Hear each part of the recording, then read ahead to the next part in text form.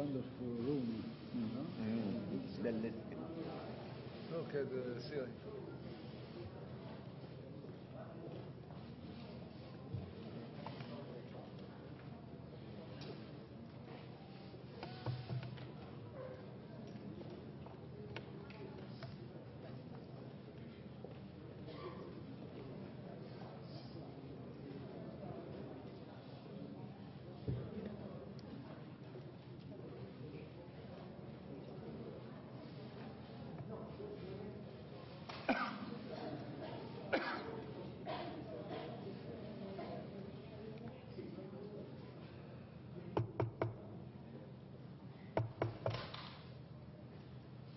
Ready? Please. Mr. President, Signor Presidente, signore e signori, vorrei a nome del segretario generale delle Nazioni Unite, il signor Antonio Gutierrez, che mi ha chiesto di rappresentarlo qui oggi a questa conferenza e anche a nome mio personale, vorrei ringraziare il governo italiano e eh, personalmente il Presidente del Consiglio dei Ministri di questo Paese che ha convocato questa eh, conferenza. Questa è una conferenza in cui ho, ho visto un suono di unità della comunità internazionale ben più forte a sostegno del piano delle Nazioni Unite, eh, a sostegno di eh, un'azione nel campo eh, politico, della sicurezza e dell'economia. E ho anche ascoltato e visto un uh, livello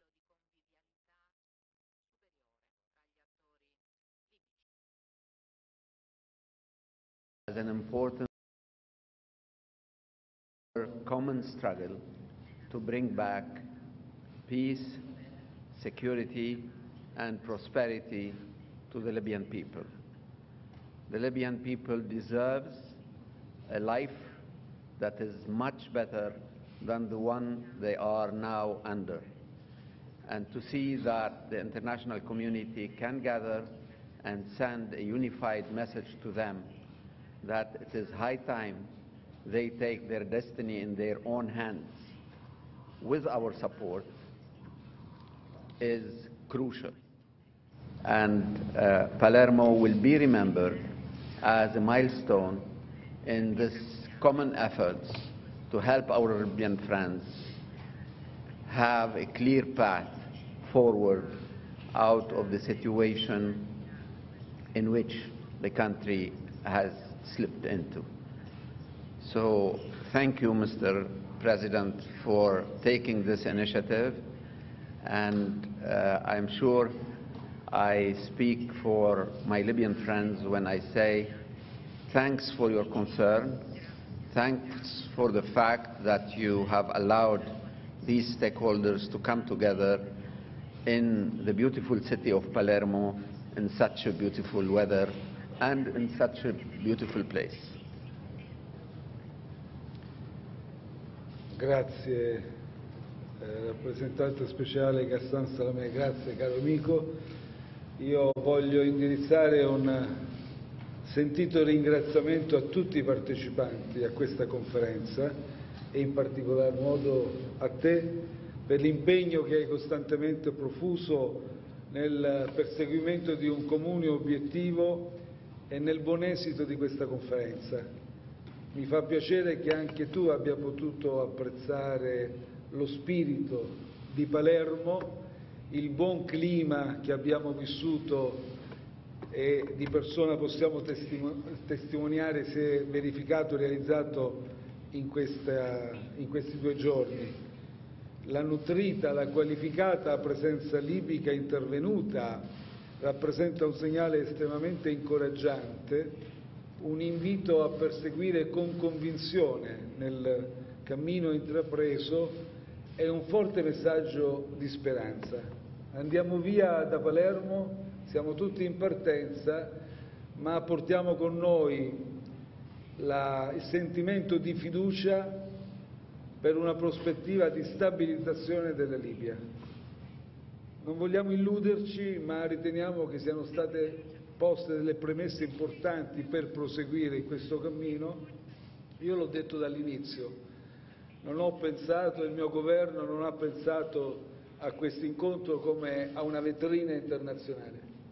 Non siamo qui, non, abbiamo fatto, non ci siamo profusi in questa organizzazione per una photo opportunity, ma perché veramente avvertiamo il desiderio di offrire un contributo, anche noi come Paese, al, all'iniziativa da tempo intrapresa dalle Nazioni Unite e che tu stai conducendo, stai portando avanti, perché lo facciamo nella prospettiva di assicurare ai libici, pensate, 6 milioni di cittadine e di cittadini che vogliono votare, vogliono decidere il loro destino, vogliono delle istituzioni finalmente stabili, una Libia unita, una Libia stabile e non vedono l'ora di poter arrivare a questo traguardo. La Libia è un paese amico, è un paese da cui siamo legati da vincoli antichi di amicizia, di cooperazione economica, di legami culturali e ci sentiamo responsabili nel offrire un contributo verso questo risultato. Specificamente abbiamo affrontato durante la conferenza vari temi, in particolar modo è emersa una forte coesione della comunità internazionale ed è molto importante far, sentire il sostegno coeso agli amici libici della comunità internazionale, ma abbiamo affrontato anche elementi più specifici, temi più specifici per proseguire nel processo politico nel contribuire al miglioramento del quadro di sicurezza del Paese e anche nell'accelerare le necessarie riforme economiche. Io vi ringrazio perché avete partecipato in tanti, siete stati anche voi molto numerosi, avete seguito con molta attenzione la conferenza e forse diamo adesso vita alle domande, prego. Sì, apriamo le domande, abbiamo un po' di prenotazioni, allora partirei con Lanza, Michele Esposito. Se ti passiamo il microfono, prego.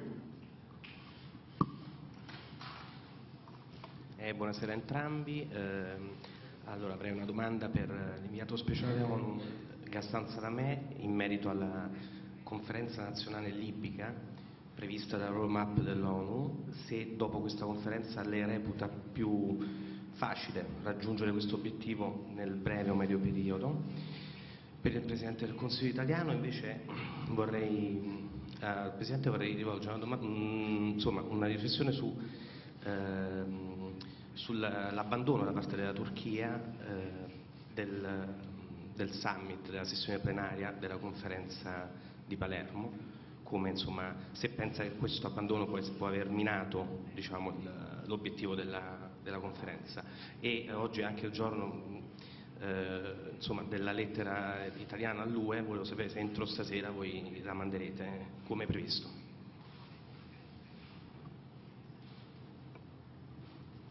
Thank you very much. Yes, I believe that uh, the national conference we are planning for uh, the first weeks of next year is made easier by this conference.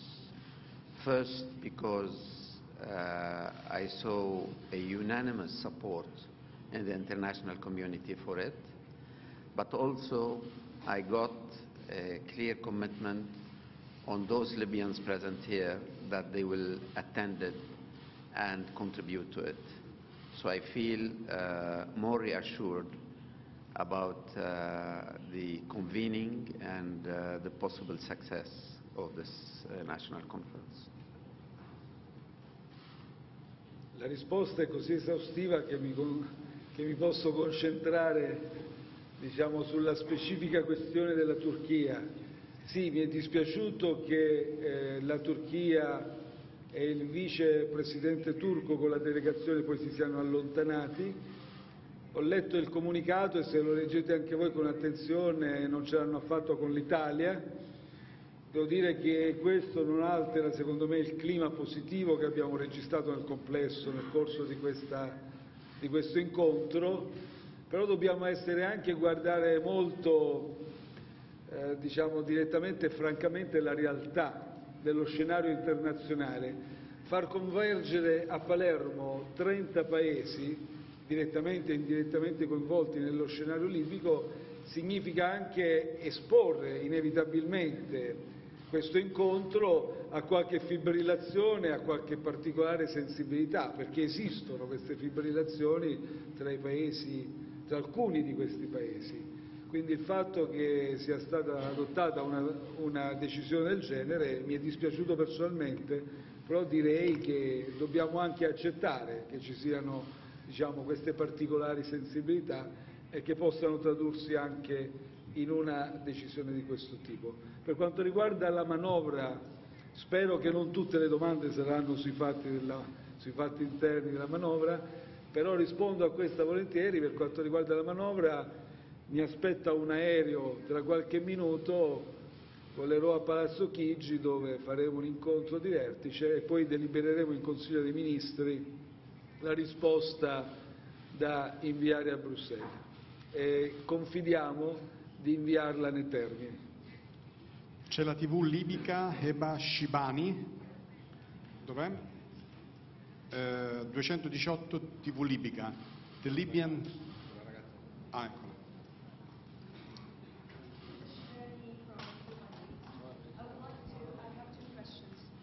I have two questions, one for the Prime Minister and one for Mr. Ghassan Salama. We start with uh, Mr. Prime Minister. Do you believe do you believe that this conference was success, success even though there was no real results, no real dates or movement on the grounds to be taken? And Mr. Ghassan Salama, our question is, um, uh, may I speak, may I say in Arabic, please? آه، غياب عقيلة وعقيلة صالح والمشري عن الجلسة الخاصة وحضور السيد سراج والمشير حفتر في آه، لقاء آه، رئيس الوزراء. كنت بحضور الأطراف الدولية الفاعلة. هل له علاقة بما طرحتموه لكونه طرفين معرقلين؟ وأيضا إذا من الممكن أن تعطينا بعض التفاصيل أكثر بخصوص المؤتمر الجامع.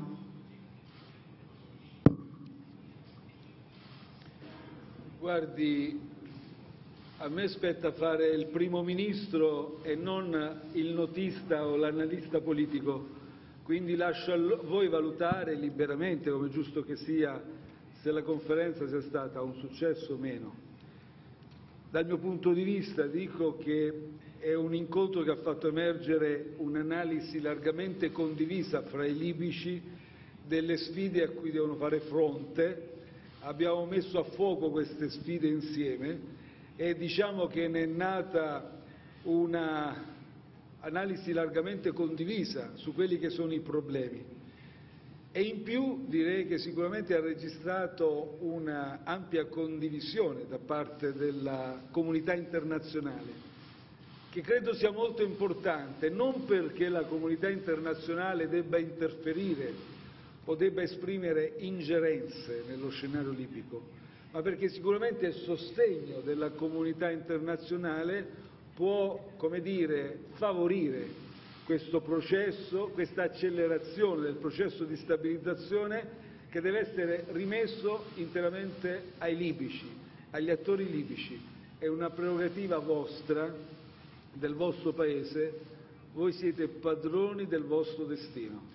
Il segno è stato di questa conferenza, noi siamo qui, con vigile attenzione vi seguiamo, siamo disponibili ad aiutarvi per quanto ci chiederete.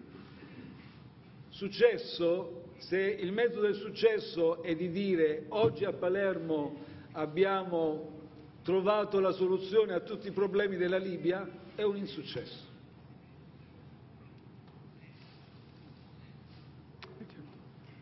بالنسبة للملتقى الوطني آه، السؤال الذي طرحتيه أولا إن فكرة الملتقى الوطني موجودة بالأساس في خطة العمل التي أقرها مجلس الأمن الدولي في شهر سبتمبر من العام الماضي. لقد أجرينا أعمالا تمهيدية للملتقى الوطني في 77 موقع ليبي في كل مناطق ليبيا. اشترك فيه سبعة ألاف ليبي واشترك بوسائل السوشيال ميديا أكثر من مليون منهم. ولم تضرب ضربة كف واحدة لم تطلق رصاصة واحدة خلال كل هذه الاجتماعات. مما يعني أنه على المستوى المحلي هناك فعلا استعداد للتفاهم واللقاء بين مختلف الفرقاء. كنا نود أن تلي هذه الأعمال التمهيدية الدعوة فورا للملتقى الوطني على المستوى ليبيا ككل. إنما جاءت أحداث طرابلس الدامية وأجلت هذا الأمر بعد الشيء.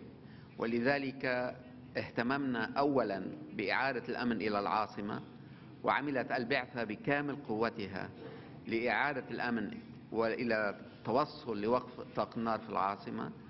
وقامت بأمر آخر وهو بالتعاون مع حكومة الوفاق الوطني على وضع تدابير أمنية جديدة بالنسبة للعاصمة. أخذت الجزء الأكبر من وقتنا لأنه طالما هناك مدفع يطلق فإن العملية السياسية من الصعب أن تدفعي بها إلى الأمام. أما الآن وقد تمكنا من فرض وقف الأنوار. أما الآن وقد بدأنا بتنفيذ التدابير الجديدة الأمنية الجديدة على الأرض في العاصمة فإنه آن الأوان برأينا للاستفادة من الظروف الجديدة والدعوة لهذا الملتقى الوطني الذي نأمل من خلاله أن يقول الليبيون رأيهم بصراحة للمؤسسات التي انبثقت من اتفاق الصخيرات.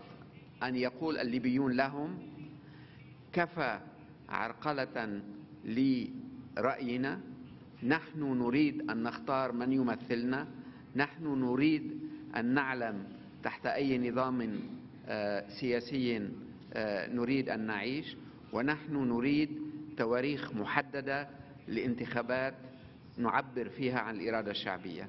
هذا هو هدف الملتقى الوطني هو تطوير وتأطير الرأي العام الذي نعلم عنه الكثير ولكي يقول رأيه بصورة مباشرة للمؤسسات القائمة التي حتى الساعة لم تبدي من الإنتاجية ما يطمح إليه الليبيون عن حق. Corriere della Sera, eh, credo Lorenzo Cremonesi.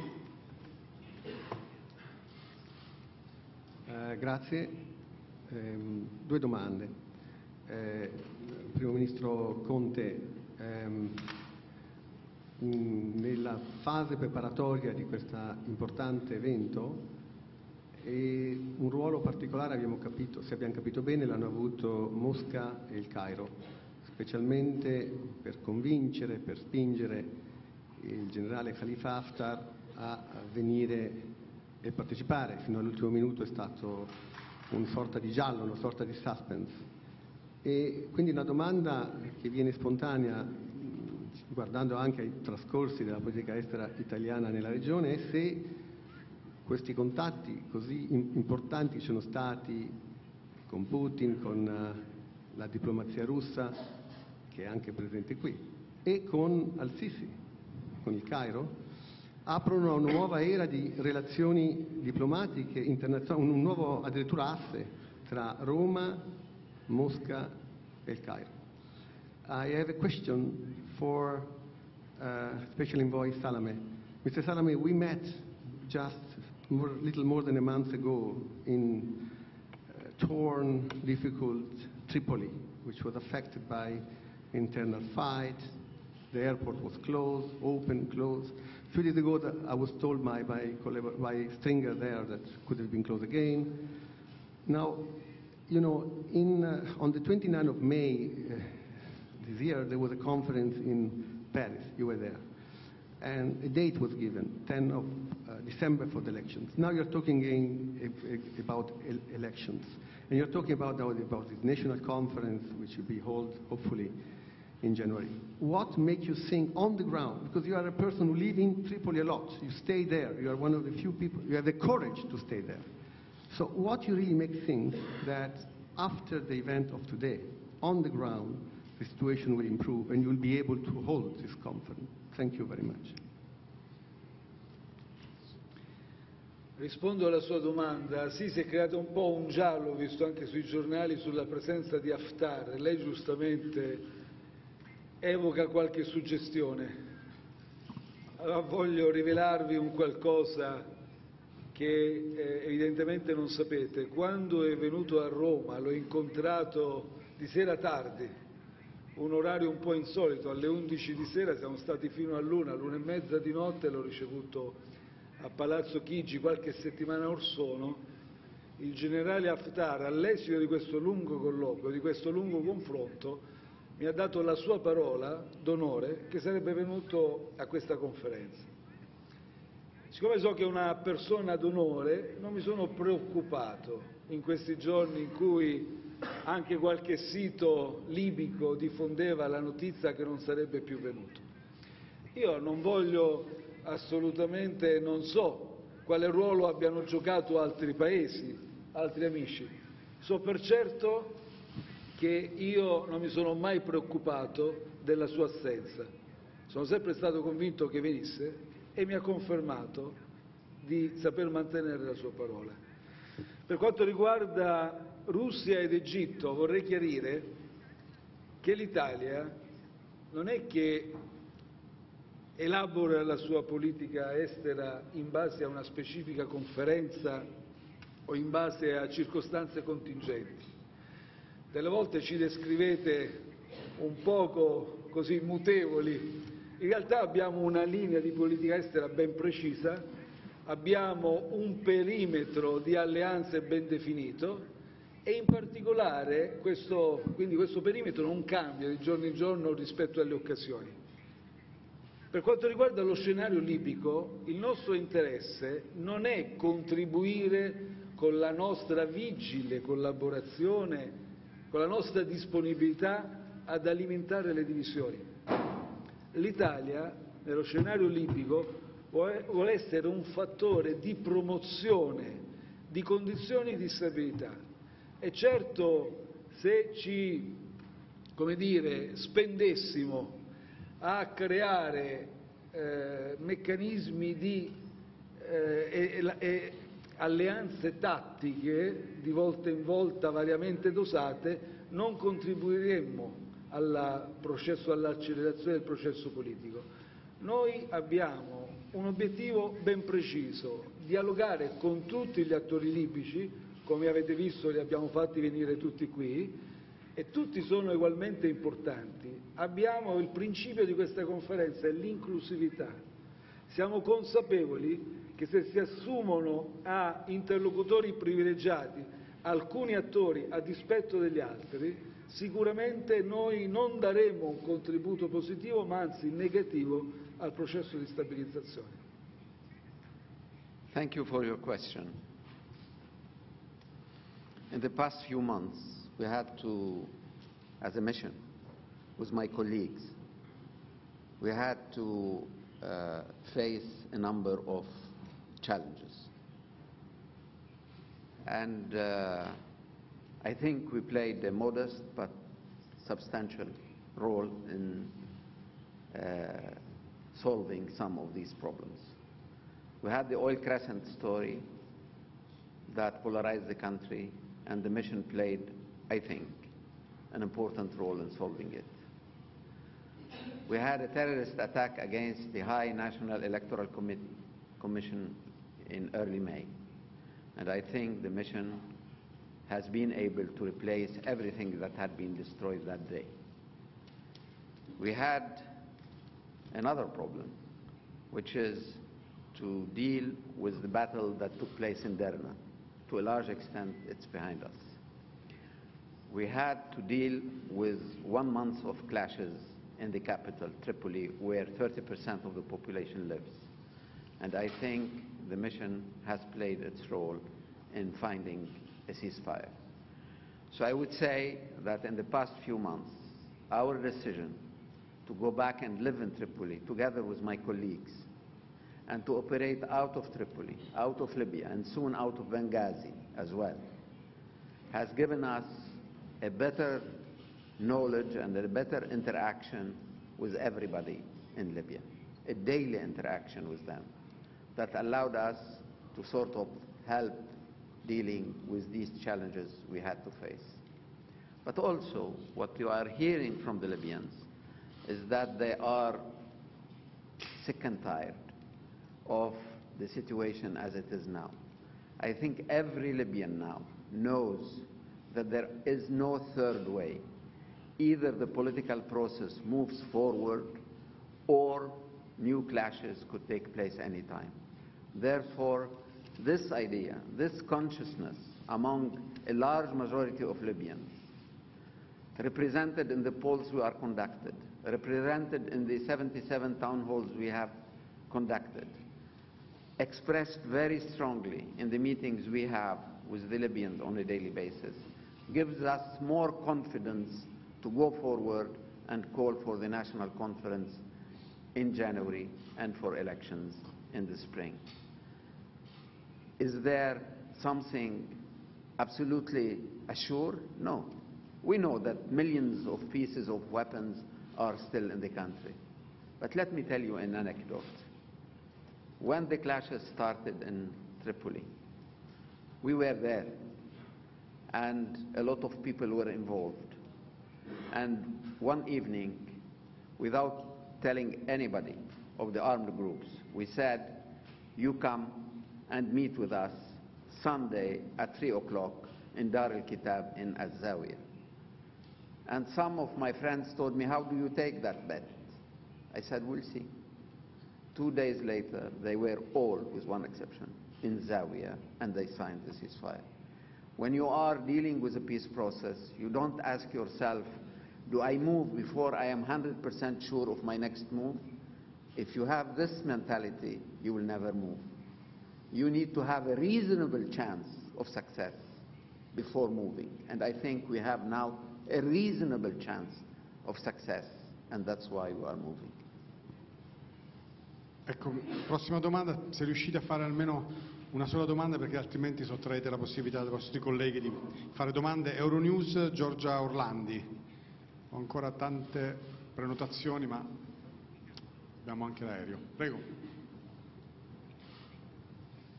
Buonasera, una domanda eh, per entrambi, ehm, in inglese e poi anche in italiano.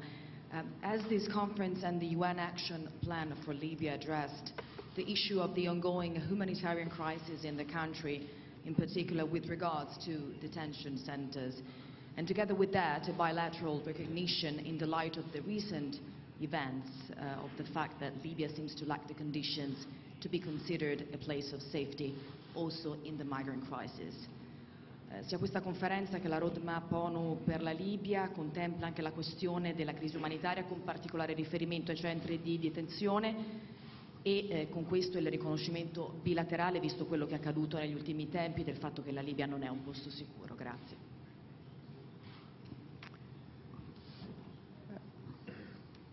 I would like to talk facts here, because I know it's a hot political issue.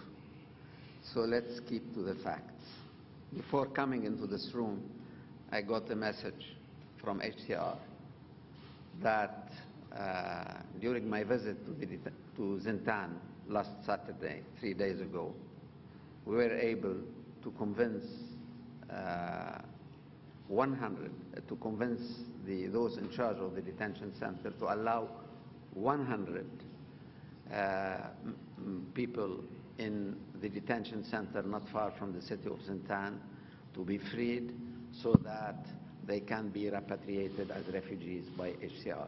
So I'm happy because a small intervention has produced uh, a direct effect.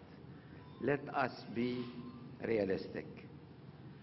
The number of illegal migrants in Libya who are in detention centers are around 34,000. The number of illegal migrants in the Libyan territory, over the Libyan territory, are around 700,000. So those who are in the detention centers are a small minority of a larger group. And the UN agencies are dealing with them in different ways. One way is voluntary repatriation. Voluntary repatriation. Those who want to go back to their country or to another country HCR and IOM are taking care of them. More than 22,000 have gone back home during this year. Those who want to stay you should keep also in mind, again, it's facts, not political, that Libya needs manpower. Libya needs uh, foreign manpower. That Libya has always, like many oil countries in that region of the world, has employed expatriates. So some of them are working. And uh, it is because of the weakness of the state they are now illegal. So their situation can be regularized at some point in the, in the near future. What is important is that the flow coming into Libya has declined substantially, especially from West Africa. It is less so from East Africa, but from West Africa you can see on the southern borders that the flow has decreased. And the flow has decreased because basically people tell each other that they are taking two big risks by trying to go north. The first one is called the Sahara, and the second one is called the Mediterranean. And when your motivation is barely to have, is, is mainly to have a better way of life, you are not ready to take necessarily big risks. And that is why I think we are helping improve the situation in the detention centers. We have done that in many places, and the mission keeps visiting the detention center in order to make sure that uh, uh, health and other uh, services are provided. We are happy that the Ministry of Health in Libya has established a unit especially devoted to the migrants. And on the other hand, we are doing voluntary repatriation. And then on third uh, hand, we are helping the government of Libya get out of its former denial policy that there is no problem, and now it is recognizing that there is a problem and that we should cooperate in order to deal with it. Ma la risposta è stata così esauriente. Io aggiungo solo una considerazione specifica dal punto di vista dell'Italia. È ovvio che ci aspettiamo che da una stabilizzazione della Libia ne possa derivare un benessere e quindi un miglioramento delle condizioni di vita politica, economica ma anche sociale a tutti i libici e a tutti i cittadini che sono ospitati sul territorio della Libia. Vorrei però anche chiarire che la conferenza non è stata organizzata e quindi l'intervento dell'Italia, la sensibilità dell'Italia non è semplicemente riassumibile nel problema dell'immigrazione. Certo, abbiamo condiviso con tanti paesi, ma è una preoccupazione comune, Tunisia, Algeria, Algeria ehm, Egitto, tutti gli altri paesi confinanti, paesi prossimi alla Libia, ovviamente hanno problemi per quanto riguarda il contenimento dei flussi migratori. Quindi ci aspettiamo che dalla stabilizzazione possa derivare una uh, più facile regolazione e gestione dei flussi migratori, ma ci aspettiamo anche che ne derivi un più efficace contrasto alla minaccia terroristica, un più efficace contrasto ai traffici illegali anche di esseri umani. Quindi è un discorso complessivo che si situa sullo sfondo a tal punto che il tema della immigrazione non è stato oggetto di questa specifica dei temi trattati in questa conferenza. TG2, prego. TG2 Rai, Ilaria Capitani, buongiorno, eh, buonasera Presidente. Senta, eh, volevo chiederle mh, gli esiti di questa iniziativa eh, diplomatica dell'Italia sulla sicurezza in Libia, che è uno degli obiettivi ai quali l'Italia tiene eh, particolarmente. Lei poco fa ha detto che l'Italia vuole contribuire al quadro della sicurezza in Libia, l'Italia vuole fare la sua parte. Come, in che modo e con quali eh, risorse? Eh, ha anche detto che non si è parlato mh, di, di, immigrazione in primo piano, ma eh, ovviamente una Libia più eh, sicura eh, si rifletterebbe anche sulla, diciamo, sulla, sicurezza e sul contenimento dei flussi migratori in Italia, che è la porta di accesso dei migranti in Europa.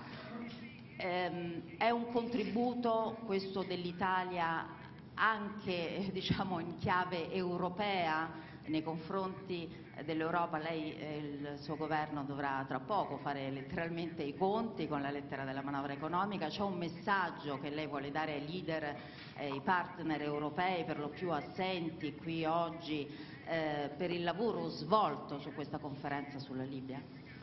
Grazie. Eh, innanzitutto vorrei dire che non è corretto dire che non fossero presenti anche e non ci fosse attenzione da parte dell'Unione Europea perché c'era il Presidente del Consiglio Europeo Tusk, c'è stata l'alta rappresentante e vicepresidente della Commissione Mogherini, ci sono stati tanti rappresentanti di vari Stati europei ai massimi livelli, capi di Stato, capi di governo o ministri degli esteri. Quindi direi che non c'è stata affatto disattenzione da parte dell'Europa. Diciamo che l'Italia oggi promuovendo questa conferenza, all'esito di questa conferenza possiamo dirlo, dicevo prima se è un successo, certo non offre, anticipavo, la risoluzione a tutti i problemi, sarebbe forse davvero velletario impostarla in questi termini. Diciamo che è stato compiuto un passo avanti, possiamo dirlo, Cassan, un, è stata compiuta una, è stata eh, diciamo, completata un'ulteriore tappa verso questo percorso molto articolato che le Nazioni Unite, come ricalibrate da Salamè, dal qui presente Salamè, hanno definito e noi ci inseriamo come facilitatori di questo percorso. Eh, stabilizzando la Libia, ovviamente, auspichiamo effetti benefici ma attenzione, non solo per l'Italia. Noi con questa iniziativa facciamo un favore a noi stessi, innanzitutto ai libici, a noi stessi anche e anche all'Europa. Quindi da questo punto di vista oggi abbiamo sicuramente con questi due giorni reso un servizio all'Europa.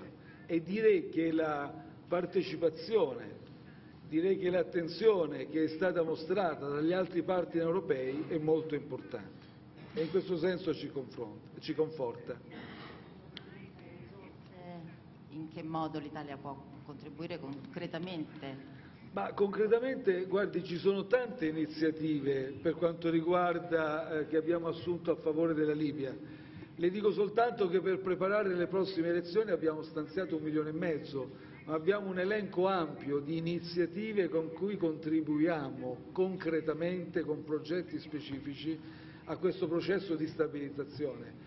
Ovviamente eh, l'Italia particolarmente, eccelle particolarmente ad esempio nella capacity building, nelle attività di formazione per quanto riguarda le forze di polizia, di sicurezza interne, più che quelle armate. Possiamo, quindi stiamo dando una mano e intendiamo dare una grossa mano. Siamo disponibili per tutto quello che ci sarà richiesto. E un altro contributo dell'Italia, ad esempio, io mi sto battendo in tutte le sedi europee per, per, perché il Trust Fund, sarebbe quel fondo per il Nord Africa in particolare e l'Africa in generale, sia incrementato ulteriormente, perché ritengo, e l'ho sempre detto in tutti i meeting europei, che quel finanziamento così modesto attualmente non è adeguato per tutte le iniziative che l'Europa deve contribuire a realizzare non solo in Libia ma in tutti i paesi africani. The Wall Street Journal, dov'è? Prego.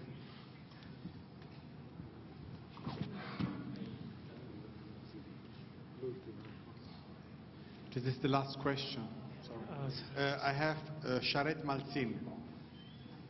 Non lo so. Sharet Malzin. Thank you. Um, I wanted to ask another question about uh, Field Marshal Haftar uh, for either of you. What do you make of the fact that today his spokesman is claiming that even though he, he was here in Palermo, that he was not actually participating in the summit? And uh, did he say anything to you uh, that would indicate that he is fully committed to the political process going forward, including this uh, National Congress that uh, you as the UN have planned? Thank you. Well, we are on a very regular uh, contact basis with Marshal Haftar. Uh, in fact, I think I, on average, I, I, I see him at least once a month. He knows the UN action plan. he has committed to support the national conference, and uh, I don't think he changed his mind. Now, all international conferences have various formats, sometimes smaller, sometimes larger. And in some conferences, people are ready to meet with each other with enthusiasm, and some other people are not ready to meet with each other with a lot of enthusiasm. So I have seen a number of international conferences in my life, and there is always some reluctance sometimes to be seen with uh, people you do not particularly support or like. So I don't believe uh, that what uh, happened uh, with Marshal Haftar today is in any way a new obstacle to the peace to the political process. As far as I know, and his representatives uh, repeated this to me uh, today, in fact, an hour ago, they are committed to the political process. And uh, they, uh, as you know, his representative in the plenary session said clearly that uh, they support that political process as defined by the UN. He said it publicly in the, in the plenary session. Thank you. The last question, sulle 24 ore. Sì, per il rappresentante speciale Ghassan Salamè, sapere come sta procedendo il lavoro di unificazione della Banca Centrale e della NOC. Per il Presidente Conte, se ci può dire in un quadro di ritrovata sicurezza quali possono essere le prospettive di collaborazione economica tra l'Italia e la Libia e se di queste avranno bisogno di una riattivazione dell'accordo di amicizia e cooperazione. Un'ultima postilla, a nome anche dei colleghi italiani abbiamo apprezzato molto il fatto che lei sia venuto in sala stampa ieri eh, per salutarci alla fine di una giornata di lavoro e questo è un riconoscimento del nostro ruolo e della nostra, della nostra categoria e se questo secondo lei però rappresenta anche eh, un cambio di mi stavo commuovendo. se questo rappresenta anche come dire, un cambio di passo rispetto a dichiarazioni del suo vice non propriamente diciamo, gratificanti nei confronti della nostra categoria. Grazie.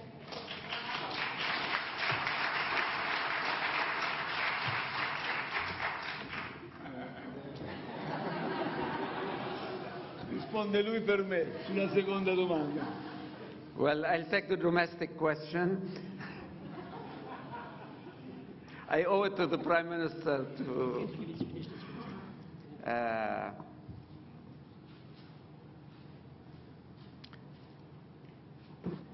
I mean, you wanted to know exactly. Sorry? The, the step? The next step? The next step for us is very clear. The next step is for us to consolidate the ceasefire in Tripoli, and if we succeed, to do it in other cities as well. Because we believe that without security, we cannot advance. The other step for us, for the central banks, because this was your question, let me tell you what happens exactly. Again, facts are the best thing.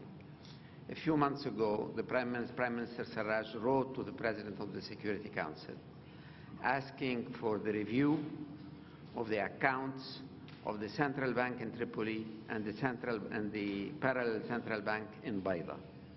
Because there are doubts about the source of this uh, money, but also on the way this money has been spent since the central bank has been divided into two in 2014. The Security Council asked the mission to deal with this issue. What we did is that we brought for the first time in four years the two governors of the two central banks together in a meeting in Tunis in August the 27th. And they agreed that the same audit company, one of the big four as they are called, uh, will come and look and review the accounts of the two banks.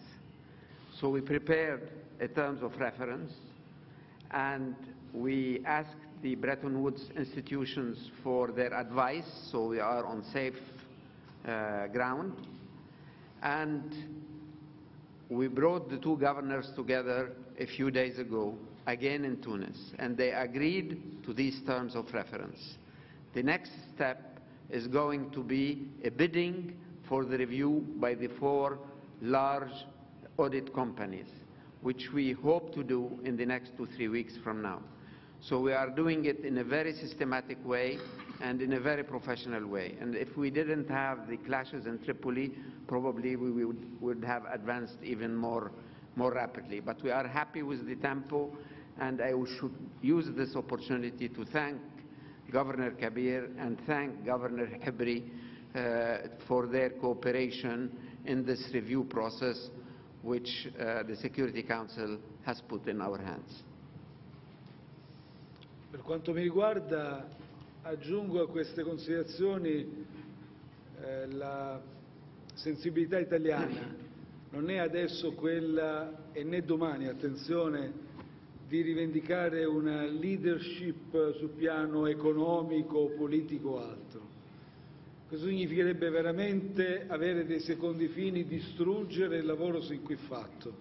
Noi siamo qui per dare un contributo, non voglio ripetermi, e ovviamente siamo disponibili a valutare tutte le forme di aiuto, di cooperazione che si potranno anche sviluppare in futuro sul piano anche economico, ma non trascuriamo anche l'aspetto culturale, l'aspetto di vita sociale e via discorrendo.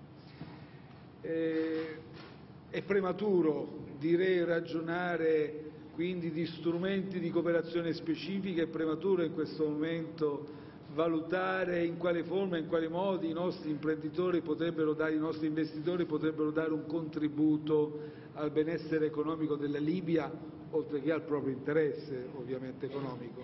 Dobbiamo stabilizzare la Libia. Noi ci siamo, siamo disponibili a valutare tutte le chance, le opportunità che si creeranno nel nostro interesse, perché non dobbiamo essere neppure ipocriti, e nell'interesse del popolo libico. Le valuteremo insieme. Lei mi ha chiesto poi, per quanto riguarda il mio gesto di ieri, sì, è un gesto che ovviamente quando mi hanno detto che eravate lì ho voluto controllare di persona come eravate organizzati e come vi stavamo trattando, come vi stava trattando l'organizzazione. Detto questo, vorrei chiarirlo, questo governo è per la, non io personalmente, è scontato, ma questo governo è per la libertà di stampa. Quindi non dovete assolutamente temere, non sarà mai posta in discussione un passaggio fondamentale, un principio fondamentale non solo del nostro sistema democratico, ma di qualsiasi sistema democratico. Poi però come voi molto spesso attaccate violentemente, delle volte può capitare che venite attaccati altrettanto violentemente, con qualche manifestazione, come dire, lessicale che possiamo giudicare anche eccessiva. Ci sta. E però il principio, il principio fondamentale della libertà di stampa non è, non è mai stato e non verrà messo in discussione. E buon lavoro davvero. Grazie. Thank you. Thank you, thank you.